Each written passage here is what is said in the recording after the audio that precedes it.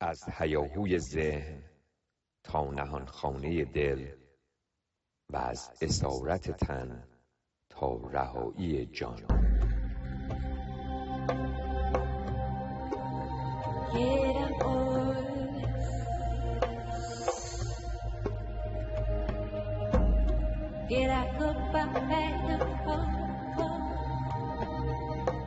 شفا. برنامه با دکتر حبان در مسیر تندرستی نیکزیستی و کمال.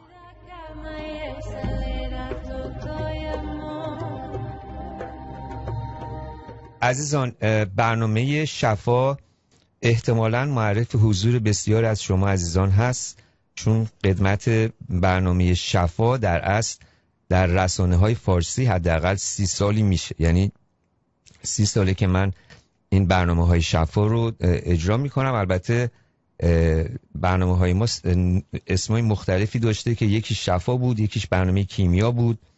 یه برنامه بود به نام تن و جان یه برنامه به نام جام و جان برنامه به نام سرچشمه حیات و قبل از اونم برنامه های تو رادیوهای مینستریم داشتیم رادیو امریکایی که به نام هیلینگ بود بادی سول بود.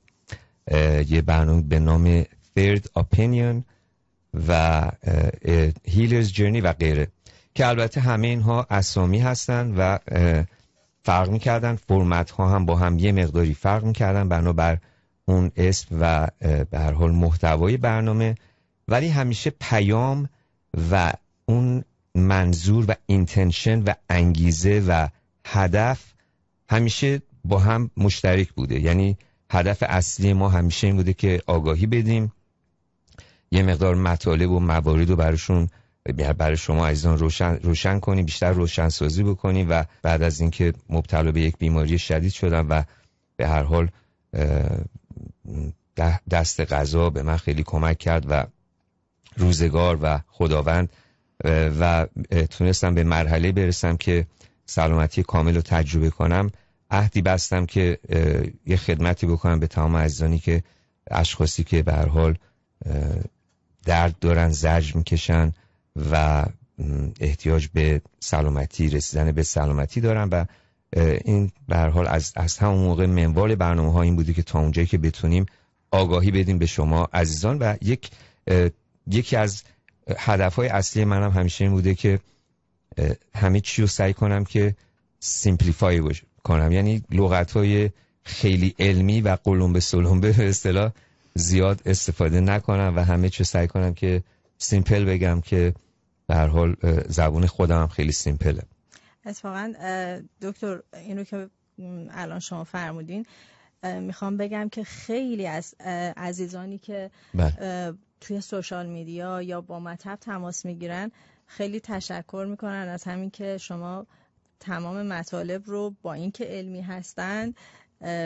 با اینکه به هر حال تحصیلاتی که دارین انقدر بالا هستش که شما مطمئنا براتون سخته که بخواین به این سادگی صحبت کنین. ولی همه تشکر می‌کنن از اینکه طوری میگین که عموم مردم براشون قابل درک هست.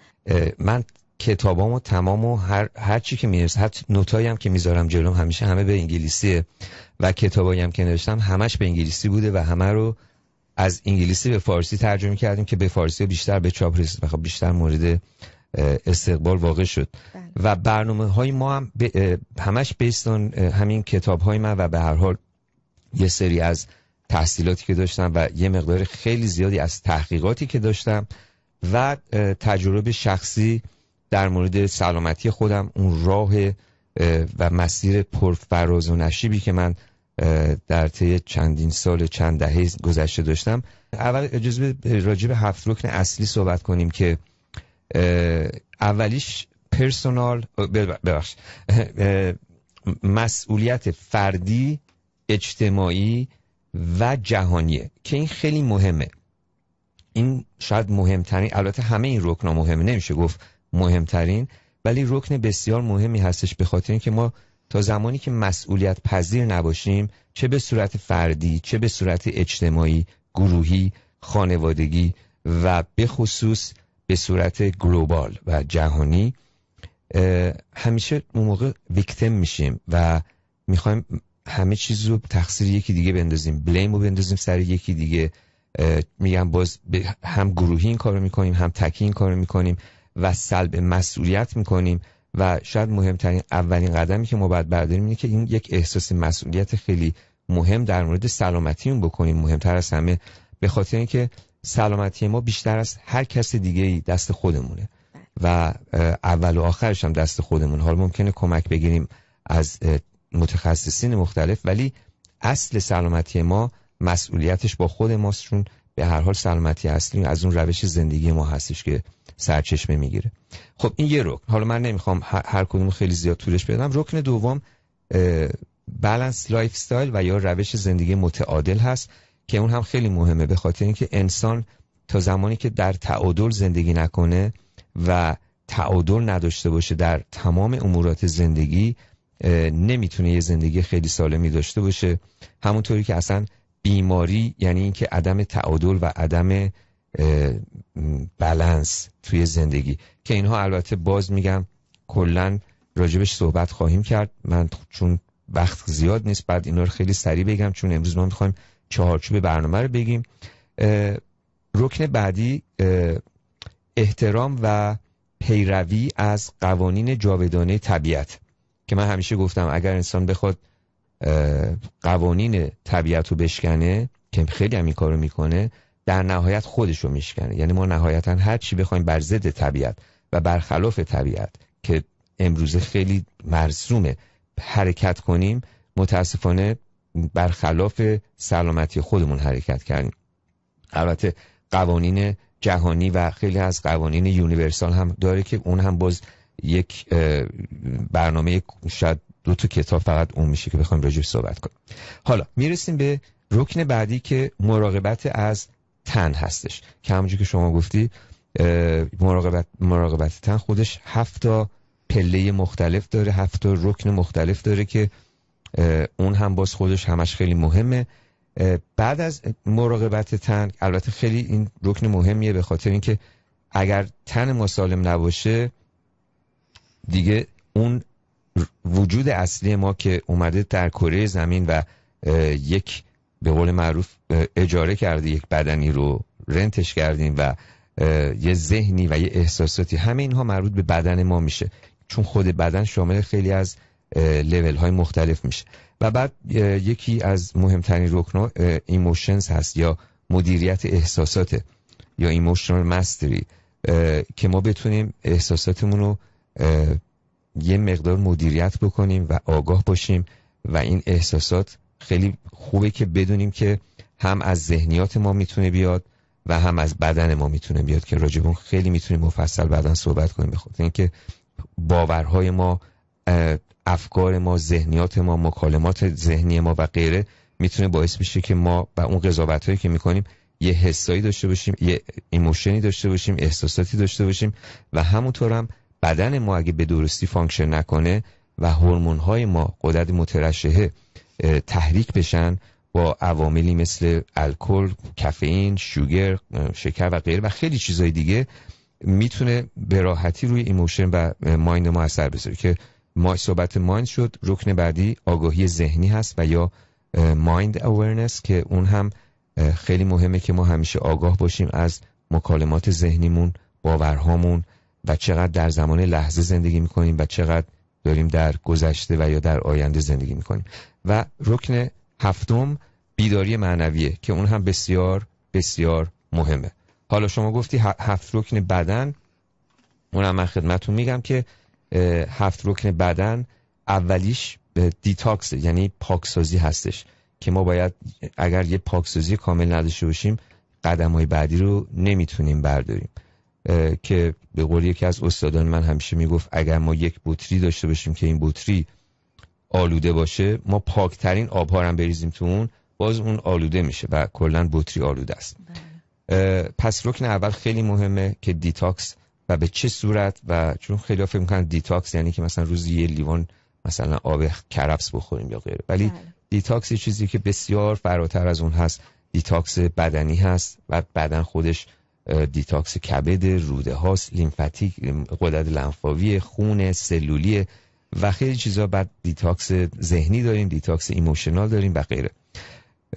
این پس اولین رکن بدنه. رکن دوم سلامتی تن هوای پاک هوای تازه و به خصوص تنفس های عمیق و کلا تنفس. که تنفس شاید ما صدها نوع تنفس فقط در مکتب یوگا داریم. حالا در مکاتب دیگه همه جا هست. و این تنفس ها خیلی به ما کمک می‌کنه که هم بتونیم این تنفس اصولا یه پل پل ارتباطی بین بدن احساسات ذهنیات و روحانیت ما هستش. و همه اینها رو می‌تونیم ما با تنفس به همدیگه وصلش کنیم. حالا این هم باز خیلی طولانی مبحثش. تنفس هایی داریم برای خواب برای ریلکسیشن و غیره. و یا انرژی. بعدا در آینده راجع به این تمام اینها رو بله باید بشکافیم. دقیقا دقیقا. رکن بعدی هم آب پاک آب که این اصلا گفتن نداره که چقدر مهمه. 75 درصد بدن ما از آب تشکیل شده و مغزمون که اصلا 85 درصدش و بسیار مهمه که آب به اندازه بنوشیم و بسیار مهمتر از اون هستش که نوع آبمون درست باشه که این هم باز خودش می‌تونه یکی دو تا برنامه باشه. رکن بعدی که رکن بسیار مهم و پیچیده و عمیقی هست تغذیه سالمه که اون دیگه شاید ده ها کتاب بشه. بله فکر کنم یه چند جلسه باید در مورد تغذیه صحبت کنیم شما. دقیقا دقیقا. چون تغذیه خیلی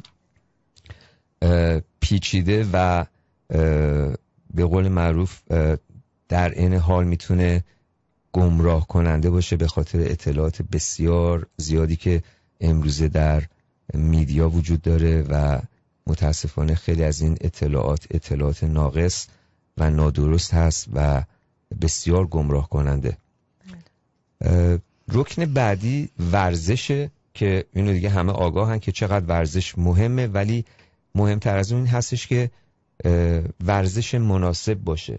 ورزشی باشه که بنابر کیفیت زندگی شخص لول سلامتیش سنش و خیلی از موارد دیگه ما وقتی که به حال مشاوره میدیم به مردم خیلی تاکید می‌کنیم که نوع ورزشش یعنی مهمه که نوع ورزش ورزش درستی باشه. اگر یه شخص یه جوان سالم 20 ساله باشه خب با یه شخصی که مثلا ممکنه 55 80 70 سالش باشه و از نظر سلامتی یه مقدار مسئله داشته باشه خب ورزش برای این بین فرق این دوتا خیلی زیاده. رکن ششم خواب استراحت relaxation خنده و شادی هست که همه اینها تحت یک category و بسیار مهمه. فقط خواب رو در نظر بگیرین. اگر ما خواب با کیفیت و به اندازه نداشته باشیم هیچ کدوم از اونها کار نخواهد کرد. یعنی خواب یک زمانیه که بدن تمام اون ترمیم ها و بازسازی ها و پاکسازی ها و خیلی از این کارها رو انجام میده. رکن آخرم سانلایت هست. یعنی نور خورشید که خیلی ها میگن نرین زیر نور خورشید ولی نور خورشید بسیار حیات بخشه بسیار لازمه مایه حیات بخشه و بدون اون ما نمی‌تونیم زندگی کنیم بدون کره زمینی وجود نداشت. ولی خب باید به اندازه باشه و باید راجبش حسابی صحبت کنیم.